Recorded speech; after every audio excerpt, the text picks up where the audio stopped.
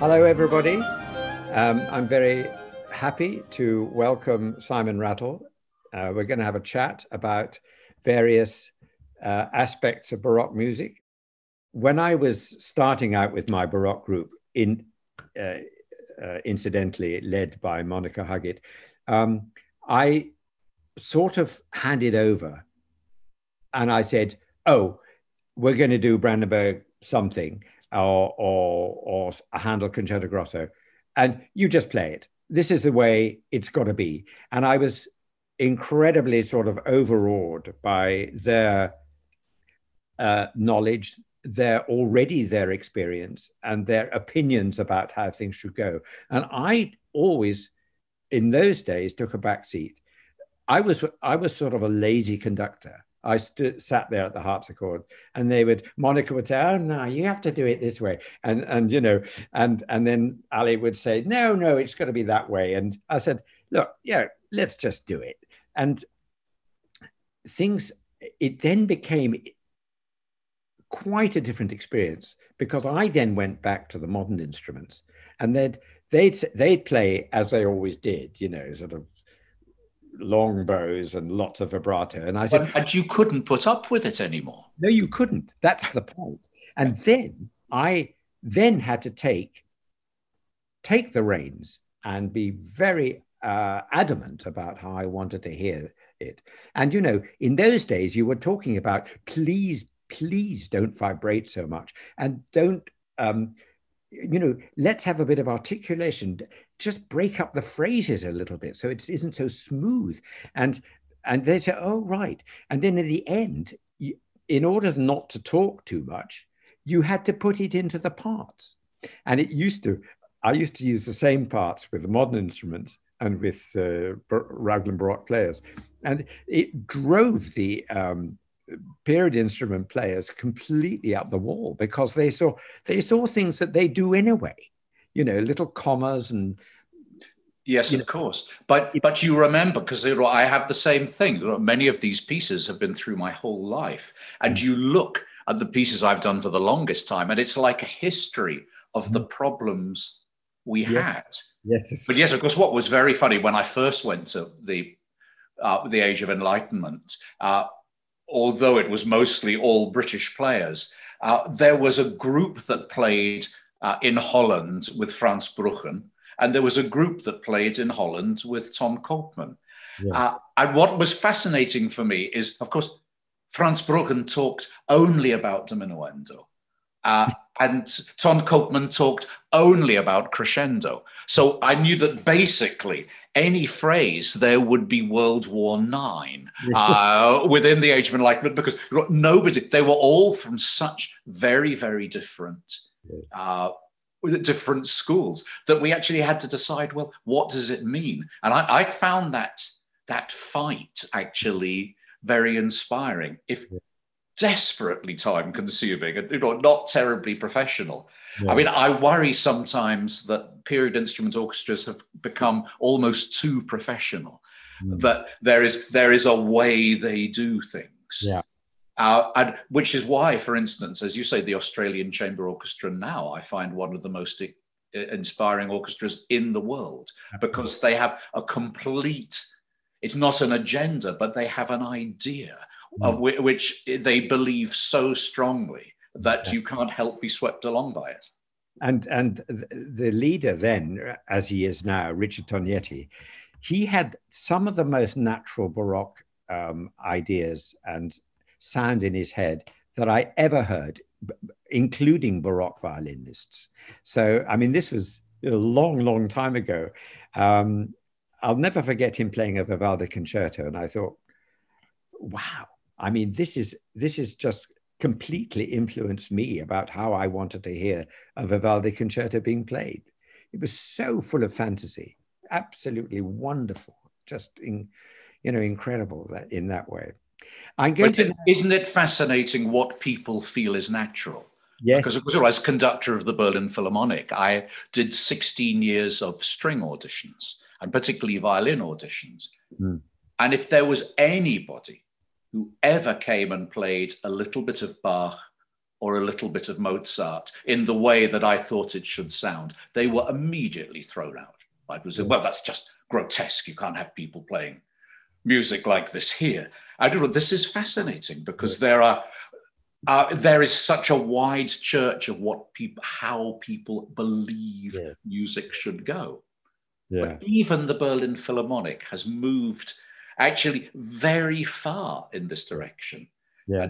Bill Christie has come, you have come, Emmanuelle Haïm has yeah. uh, has come, Giovanni Antonini, Ton Koopman, you name it. And so actually now they have really they have this more in mind. Absolutely. I mean, it was like when I worked with them, it was it was just like the most expert Baroque orchestra you could possibly have, but but sort of without the I don't know what it, you know, they had to be they still had to be told they still had to be led in a way. And it was quite early on in the journey for them as well. Which brings me very neatly on to one of your predecessors in Berlin, I gather you had a very interesting phone conversation with him. Um, oh my God, yes. Yeah. Uh, I, do, I don't suppose there are many people who can have had the honor to have had the phone slammed down on them by Herbert von Karajan. But I at least, thank goodness, I knew he was going to make a telephone call. I had been warned in advance, but I was in Birmingham in my apartment and he he was uh, we had already met uh, in Berlin, and he'd actually been incredibly charm, well, charming like an old soldier. Like I'm sure if you'd met General Patton, it would have been like that. Yeah. Uh, gruff, but actually very warm in in this way. But he rang up and asked me this astonishing thing. He said, "Look, I am now physically no longer able really to conduct opera uh, although it's been the most important thing in my life. I, I am doing Figaro next year in uh, the Salzburg Easter Festival and the Summer Festival. Easter with the Berlin Philharmonic, summer the same production with the Vienna Philharmonic, as it always was in those days. Would you like to take it over? And I explained to him, I, I was very flattered, but I explained to him why I couldn't, because in fact, I already had uh, other things to do. I, in fact, I was doing uh, already Mozart operas at Glyndebourne. And he said, Well, what are you doing and how are you doing them? Uh, and I, for some idiotic reason, I thought it was a good idea to tell him that I was playing Mozart with period instruments. Uh, and that I was worried that you know, if I'd done that, I would it would be really hard to get what I had in mind out of uh, even these great orchestras. And, what, and there was a, an explosion, and a number of languages came out of it, parts of which was English. And what I can remember is, well, I don't know what kind of style you think you're playing in, but I'm just playing Mozart style. Goodbye. And the phone went down. Why did I think that this was uh, a good moment to tell him that? Also, because I, I, I know the problems he had. I mean, for instance, he had absolutely refused to allow Harnoncourt to conduct mm. either in Berlin uh, or in or in Salzburg. Yeah. Uh, yeah. Well, but I, I, at least re- afterwards, I got a friendly message which, uh, which said, "Look, I, st- I still think you're completely out of your mind to be playing with those ridiculous instruments, but I really do wish you well." uh, but there, there we go. Yes. Right. Of course, look, this was the master of legato and the legato culture. Mm. And the idea that you might put uh, consonants into your sentence as well as vowels was completely foreign to him in so much in so much music. And when I went to do, for instance, Haydn, the creation in Berlin, which we did an enormous amount, and the principal bass said, Simon, you have no idea how extraordinary this is for us because we did this with Karajan and we always played this with nine basses. It was mm. always the full orchestra. Mm. And now we're playing, oh no, there's me and two others, and it feels like completely different music. Yes, absolutely. Well, let's move on to Berlin uh, as it was, as it became under your direction, um, and hear something that maybe you don't do a great deal of even now, and that is uh, the music of Henry Purcell. Um, so we're going to hear. I mean, how did this come about? Just tell us. This came about. I mean, first of all, because I've always loved this this extraordinary music. It came about as a programmatic thing because this was the the the two years running where Mahler had his two anniversaries, and so we did over two years a Mahler cycle, which wasn't terribly original, but because everybody else was doing it, of course. Yeah. But I felt we should do pieces which related to it or told the same story or had so uh, I mean, for instance, we did before the Eighth Symphony uh, was the the Tallis forty part motet, and before the Fifth Symphony, before the Funeral March, with the trumpet, da da da da da da da, it did occur to me that the Purcell funeral music I mean, all of it, not only the brass music, but with the with the chorus as well, was an extraordinary way to move into that world. And so I got a chance to play this amazing piece. Well, let's hear it. it this is uh, maybe Herbert von Karajan was turning in his grave when you were recording this, but um, I was hoping that sound was drums, but you might be right. Yes. so let's hear a little bit of this uh, Purcell funeral music.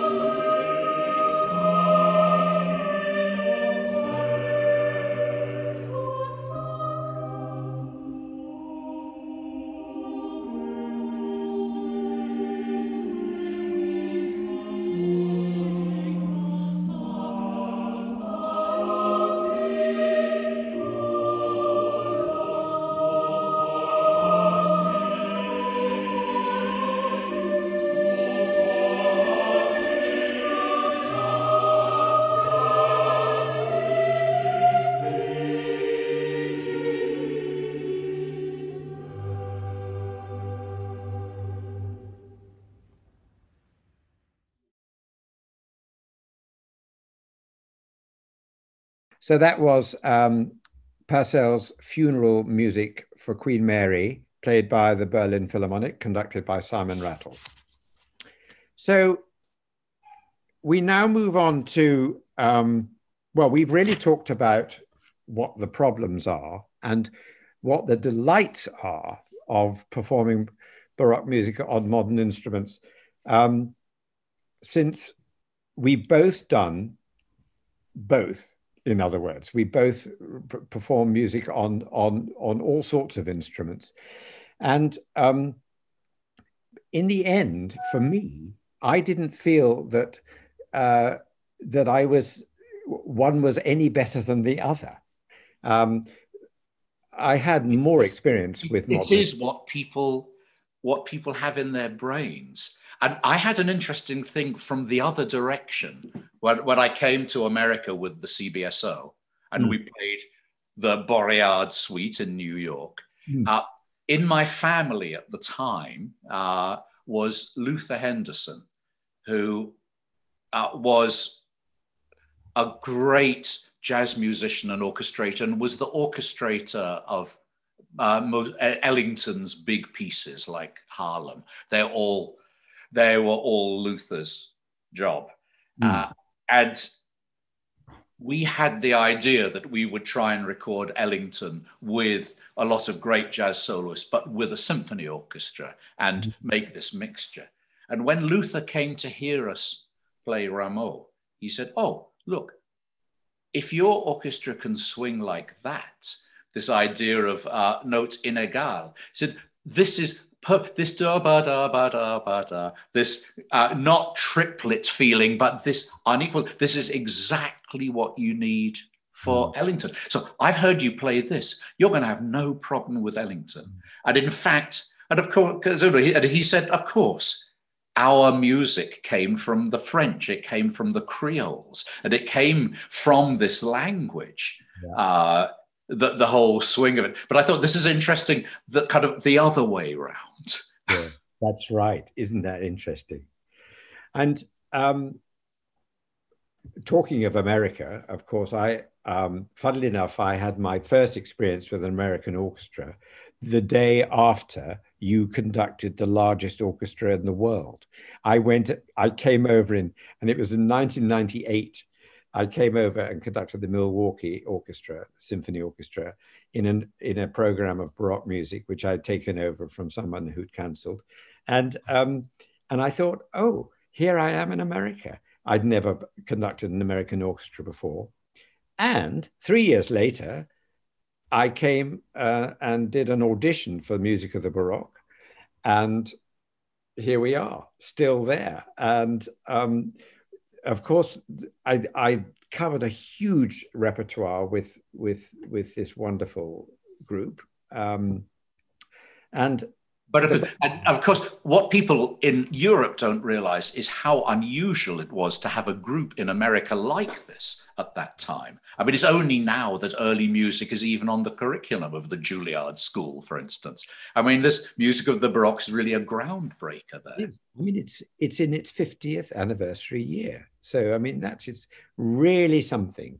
And I mean, okay, the styles of uh, of playing has changed hugely over the years, but the repertoire that the uh, founder, Tom Wikman, um, explored was completely unknown. Funnily enough, I, th- I, I think I'm not wrong in uh, the music of the Baroque did the first American performance of Idomeneo, as it happens.